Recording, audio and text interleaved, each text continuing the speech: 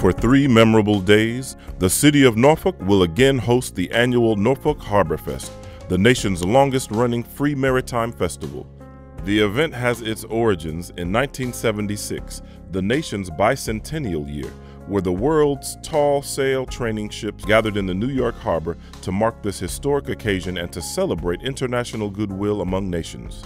The arrival of one of the tall ships to Norfolk on its way to New York and the overwhelming turnout of local residents to welcome the ship to our city inspired a keen interest from local, city, state, maritime, military, and civic leaders to create an annual event to celebrate the rich history of Norfolk's harbor and to serve as an opportunity to welcome and foster international goodwill.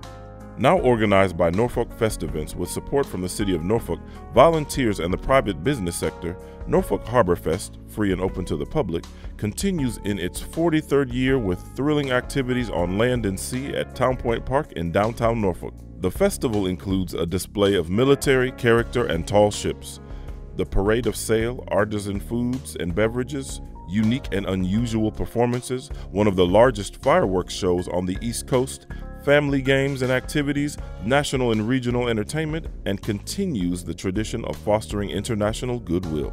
While this spectacular festival includes a display of maritime craftsmanship, engaging arts and crafts for the entire family, and diverse food and music, there are many locals who choose not to attend the free event. For some, they perceive Harborfest as a celebration of the darker history of the Tidewater region, the history of chattel slavery in Norfolk and the transatlantic slave trade. As the nation and Commonwealth of Virginia commemorates the 400th anniversary of the arrival of Africans to Virginia in 2019, it is appropriate at this time to explore this Norfolk Harborfest myth. In a collective effort with Norfolk State University, Norfolk Festevents, and the City of Norfolk, a 14 month long project has been initiated to create an open dialogue on this subject, supported with research and community engagement. This campaign will include creating information and resources that will explain both the myth and realities about Norfolk Harborfest within the context of Norfolk's early history. This initiative is well aligned with the City of Norfolk's objectives to promote positive experiences, inclusion, and embraces Norfolk's authentic history and position in the Commonwealth and country. The goal of the project is to accurately explore the story of Norfolk Harborfest in comparison to the history of slavery in the area and the Harborfest origin myth put the rumors to rest while educating the public about the fascinating piece of Norfolk's maritime history.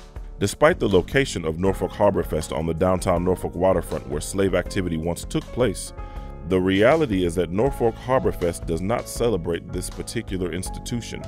Instead, it is a festival at the waterfront that recognizes national and international maritime and military goodwill and nautical traditions, especially the impressive tall ships, military, and other sailing vessels.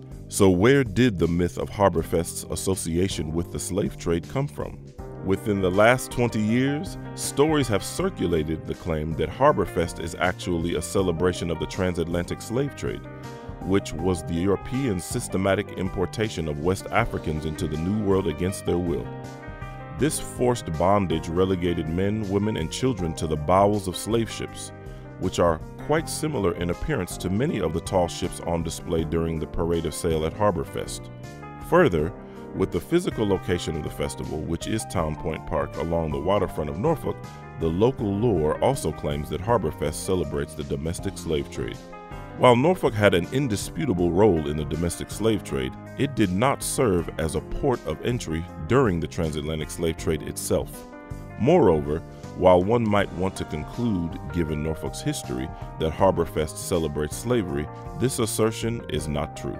Harborfest, an annual free event, is a boon for the local economy because it provides exposure to many of the local businesses and entertainment in the Tidewater area.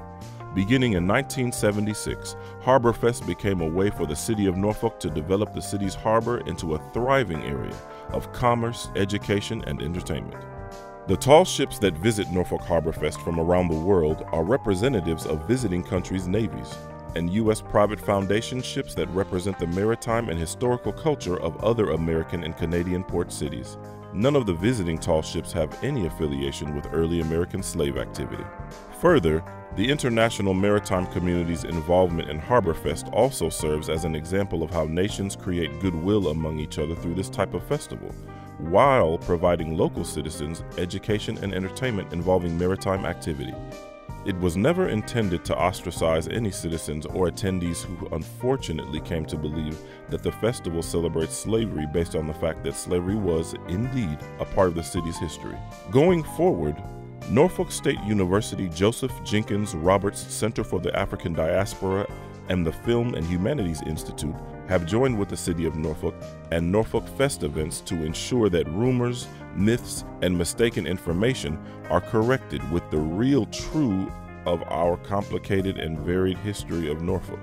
There is the hope that those who boycott or dismiss Harborfest as celebrating the stain of chattel slavery on American history will come to see the festival as a welcoming maritime event that tries to repair the city's past by creating a summer event that is focused on building an inclusive community and a thriving, prosperous future. Understanding, explaining, and correcting our true history is especially important as our nation is commemorating the 400th anniversary of the first Africans who were forcibly kidnapped and brought to Virginia's shores in America's first colony.